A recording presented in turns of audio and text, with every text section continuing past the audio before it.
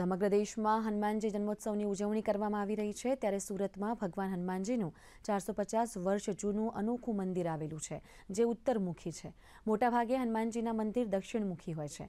છત્રપતિ શિવાજી મહારાજ સાપુતારાના માર્ગે નવસારીના ચિત્રા ગામે જઈ સુરત આવ્યા હતા, ત્યારે ડુભાલમાં તેમના ગુરુજીએ બનાવેલા આ મંદિરમાં તેઓ રોકાયા હતા. આજે પણ મંદિરમાં સમર્થ ગુરુ રામદાસની પાદુકા, યજ્ઞક્ષેત્ર અને છત્રપતિ શિવાજી મહારાજે બનાવેલી ગુફા કે જે પુરાઈ ગઈ છે, તેના દર્શન કરવા શ્રદ્ધાળુઓ આવે છે.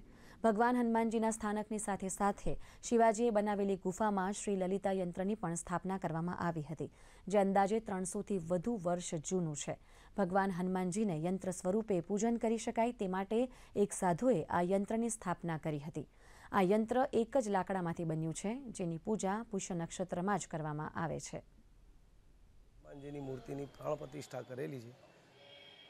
શિવાજી મહારાજ ઇતિહાસમાં સુરતમાં આવેલા, તો આ મંદિરમાં રહેલા અને અમારા દાદા વડવા કહેતા હતા કે અહીંયાથી દસ કિલોમીટર લાંબી સુરંગ બનાવેલી, જે ઘોડા પર બેસીને જાય શિવાજી મહારાજ. જે અત્યારે ચોક બજાર કિલ્લામાં આવેલ છે, એ રસ્તો અમારા દાદા કહેતા હતા, એ સત્ય થયું છે. સાડી ચારસોથી પાંચસો વર્ષ જૂનું મંદિર છે. અહીંયા તારીખ લગાવી છે સોળસોની સાલની અંદરમાં સ્થાપના કરી એવું અમારા બુક છે અમારી પાસે એમાં, એવું વર્ણન છે. ઘણો વખતથી આ મંદિરની ચર્ચા થતી હતી, એટલે સ્પેશિયલ સમય કાઢીને અમે આ મંદિરે આવ્યા છીએ. અને મહારાજને અહીંયાના ટ્રસ્ટીઓના કહેવા મુજબ આ ચારસો સાડી ચારસો વર્ષ જૂનું જે હનુમાનજીનું મંદિર છે, જેણે શિવાજી મહારાજના ગુરુ શ્રી સમર્થ રામદાસજીએ સ્થાપના કરેલી. એટલે અમને ઘણી ઇંતજારી થઈ અને અમે આવ્યા.